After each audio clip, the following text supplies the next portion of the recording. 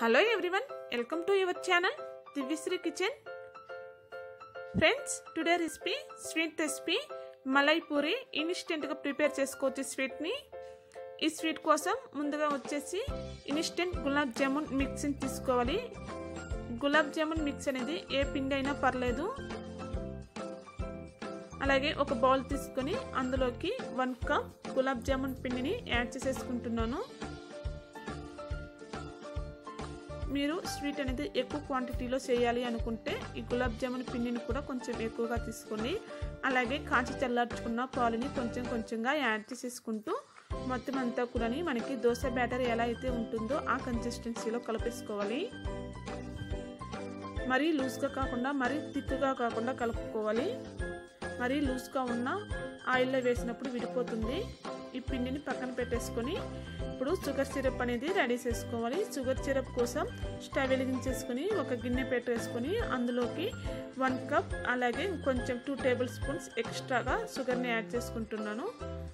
అలాగే one cup వాటర్ని add చేసుకుంటున్నాను. ఈ షుగర్ అంతా కూడా బాగా మెల్ట్ అవనివ్వాలి.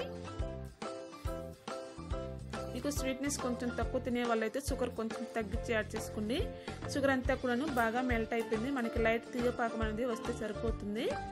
ఇప్పుడు ఇందులోకి వచ్చేసి వన్ టేబుల్ స్పూన్ యాలకుల పౌడర్ అలాగే కొద్దిగా సఫరాన్ని యాడ్ చేసుకుంటున్నాను.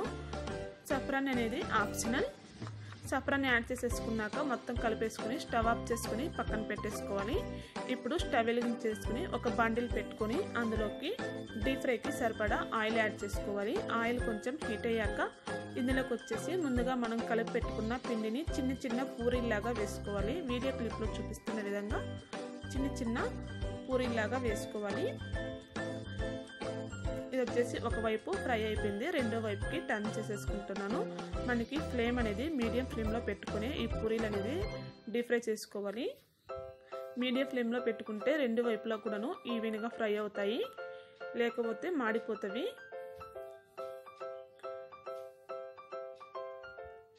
ఇది వచ్చేసి రెండు వైపులో కూడాను డీప్ ఫ్రై అయిపోయింది. ఇప్పుడు దీన్ని పక్కకు తీసేసుకుంటున్నాను.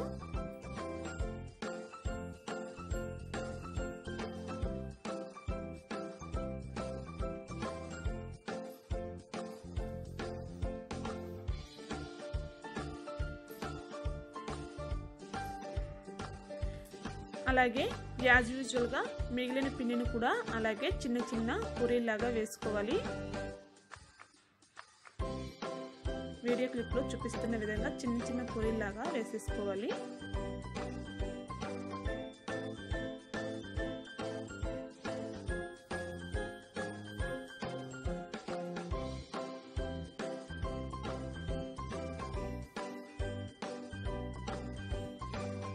మొత్తం అన్నింటినీ కూడాను ప్రిపేర్ చేసుకుని ఒక ప్లేట్లోకి పెట్టేసుకోవాలి.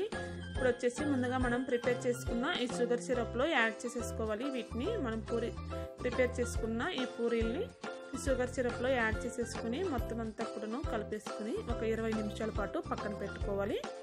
ఈ ఇరవై నిమిషాల లోపల ఇవంతా కూడాను షుగర్ సిరప్ని బాగా అబ్జర్వ్ చేసేసుకుని సాఫ్ట్గా తయారవుతాయి.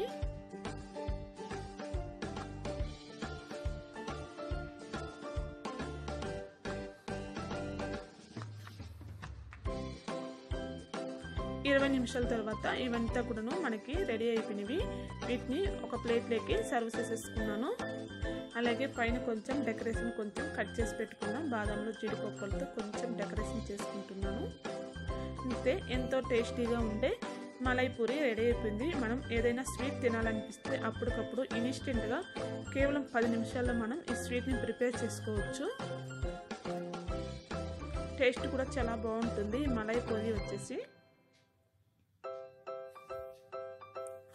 ఫ్రెండ్స్ ఎవరైనా కొత్తగా వ్యూ చేస్తుంటే కనుక నా ఛానల్ని కింద రెడ్ కలర్లో ఉన్న సబ్స్క్రైబ్ బటన్ని ప్రెస్ చేసి పక్కనే ఉన్న బెల్ ఐకన్ని ప్రెస్ చేయండి. సో నా ఫర్దర్ వీడియో చూడొచ్చు.